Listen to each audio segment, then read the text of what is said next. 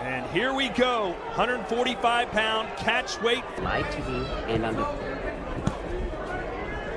the actual movement. This is not where Sandor Martin won. A little bit different circumstances this time around. Ooh, nice shot there on the inside from Sandor Martin. Caught Garcia comes. closer with that jab. And there it is. There's that one-two that he throws. Because Mikey is lethal with those combinations. There's a good one, too. That's You know, we talked about this in the Soto Gonzalez fight. Like if this is the style, it's gonna have to be in great shape. I mean, it's tough to stay on your back foot and move as much as he's trying to move. Well, he-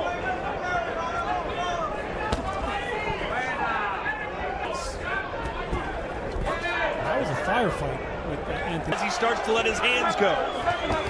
But Martin caught him coming in again.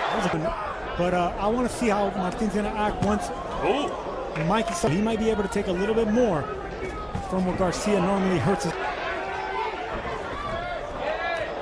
Sergio figured him out. He just hasn't been able to stop him yet. no, I, I think uh, he. I think it's a. It's only a 10 round fight. Mikey Garcia can't wait too long to get. Either way, this crowd was expecting. And Martinez made this a very And Martin comes back with a nice jab, just like that right there. and Martinez managed to take this To say he, he likes to take his time to figure out his opponent, but right now we're halfway through in a Yeah. 10-round fight. Good left hand. as Garcia's trying to rough Martin up in the corner.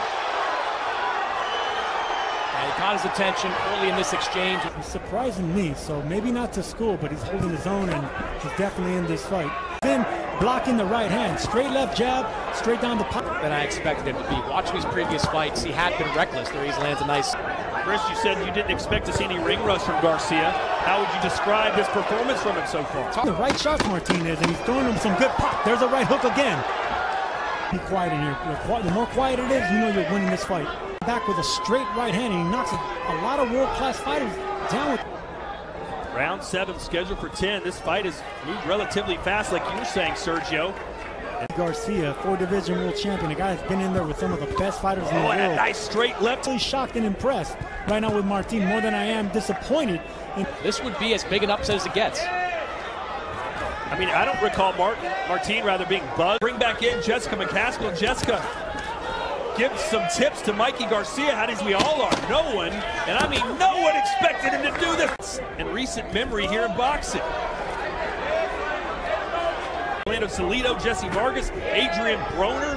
What?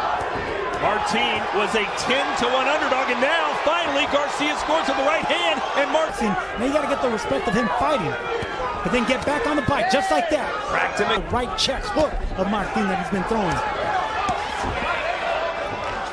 Hard to say. I mean, you can look at Mikey Garcia and say there's ring rust going on here. Lands. As Sandor Martin seemingly is beating one of the. Mikey Garcia, I gave that round to him, but I've got an 87 84. He needs a knock. He's trying to convince himself.